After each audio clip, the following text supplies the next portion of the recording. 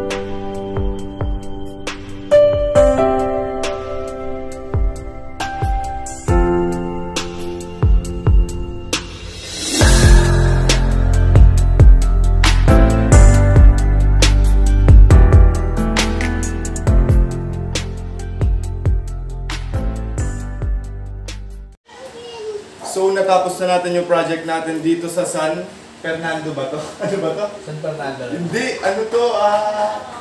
San Pedro? Hindi, Balin. Ay, Santa Rosa. Santa Rosa. Okay, sa Batik.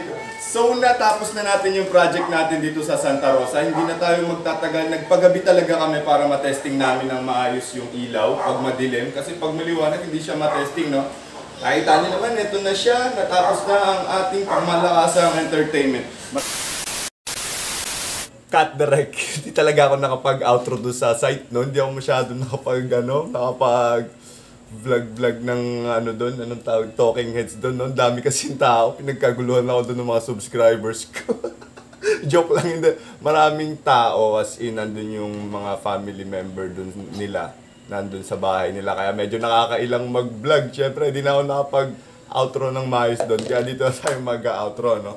Oh, wait lang nga pala. Kung ano, interesado kayo dun sa mga ilaw na ginamit natin, ilalagay ko sa description yung link nung bawat item na ginamit natin para dun nyo na lang i-check kung interesado kayong gamitin yung same na mga bulbs at saka mga strip na ginamit natin. No? Pwede din pwede nyo i-visit yung website nila, yung Hatsi Enterprise, tsaka yung application nila sa Play Store, download nyo siya. And then yung Facebook page nila, makakapili kayo doon ng mga ilaw. Ang dami pa nila magagandang ilaw, no? Check nyo yan, guys. At huwag nyo nga palang kalimutan mag-subscribe sa channel natin, ha? Palik na, pa-click na rin yung ano natin, yung bell button. Palambing naman ng subscribe dyan para naman mas ganahan pa si Matthew Woodworks gumawa ng mga content, no? Maraming maraming salamat kasi pinanood mo hanggang dito sa dulo, no? Kita-kita ulit tayo sa mga susunod na video. Hanggang sa muli, paalam!